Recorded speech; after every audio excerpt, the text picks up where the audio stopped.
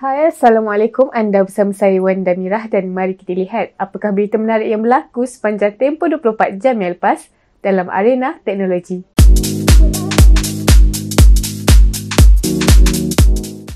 Samsung akan melancarkan Note 10 edisi Lite dalam masa terdekat. Ia dijangka akan menggunakan chip Exynos 9810 selain dilengkapi memori sebesar 6GB RAM. Buat masa ini, tiada butiran lanjut mengenai spesifikasi dalaman peranti.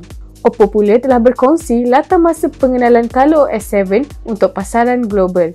Ia akan diperkenalkan bermula 26 November 2019 untuk peranti Oppo Reno dan diikuti siri F11 dan Reno 2 pada Disember kelak.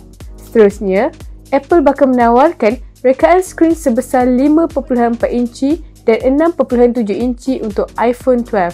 Selain saiz skrin berbeza, ia turut dipercayai akan dilengkapi memori sebesar 6GB RAM bagi menyelesaikan masalah kesukaran melakukan multitugas sejak pengenalan iOS 13 tahun ini. Akhir sekali, Digi menawarkan naik taraf kuota data hujung minggu kepada sepanjang hari bermula Januari 2020 dengan ini, pengguna boleh menggunakan data tersebut pada bila-bila masa dan tidak hanya tertakluk pada hujung minggu sahaja. Jadi, itu sahaja rangkuman ringkas yang berlaku sepanjang tempoh 24 jam yang lepas dalam arena teknologi. Kita jumpa lagi di minggu hadapan.